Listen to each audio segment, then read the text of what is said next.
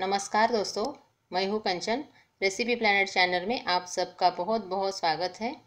आज हम इस वीडियो में रेस्टोरेंट जैसा पनीर मसाला बनाएँगे। बहुत स्वादिष्ट बनता है, आपको बहुत पसंद आएगा तो आप इसे बना के ज़रूर ट्राई कीजिए। चलिए शुरू करते हैं। इसके लिए मैंने यहाँ कढ़ाई रखी है। अब इसके अंदर डालेंगे थोड़ा सा तेल। और अब इसके अंदर डालेंगे तीन इलायची, तीन लौंग, पाँच काली मिर्च, थोड़ी सी दालचीनी और दो लाल मिर्च। इनको थोड़ा भुनेंगे। दो प्याज लंबे स्लाइस में कटे। लहसुन की कुछ कली। थोड़ा सा अदरक। दो हरी मिर्च। इनको थोड़ा भुनेंगे।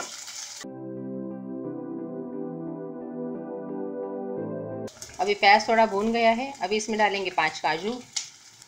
और बड़े पीसेस में दो टमाटर।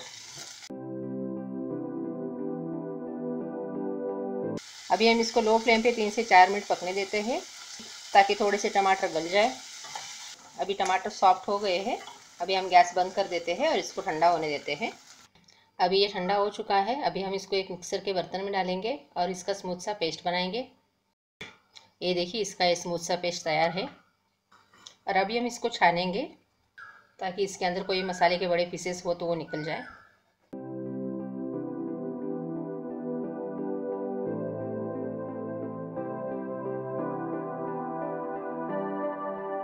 ये देखिए, ऐसे बड़े बड़े दाने रह जाते हैं, छानने से ये निकल जाएँगे, क्योंकि इसमें हमने सारे साबुत मसाले डाले थे। इसको फेंकेंगे। ये देखिए, अब ये स्मूथ पेस्ट तैयार है। और अभी हम फिर से इसी कढ़ाई में एक टेबलस्पून तेल डालेंगे, हाफ़ टी स्पून जीरा, एक तेज पत्ता एक टीस्पून लाल मिर्च पाउडर, हाफ़ टी स्पून हल्दी पाउडर, दो टीस्पून धनिया पाउडर।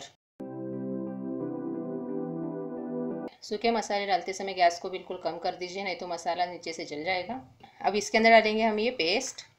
इस मसाले को तेल छूटने तक लो फ्लेम पे भूनेंगे।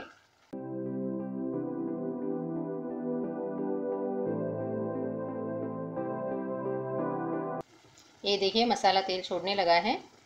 और अभी हम इसमें डालेंगे दो टेबल स्पून फ्रेश क्रीम। आप घर की भी मलाई ले सकते हैं।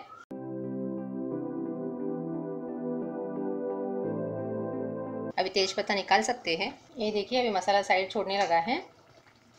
और अभी मैंने यहाँ पे 250 ग्राम पनीर कट करके लिया है। ये डालेंगे। और अभी हम इसमें डालेंगे पानी।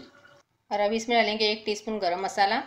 और यहाँ पे मैंने एक टेबल स्पून पनीर को क्रश करके लिया है। ये डालेंगे।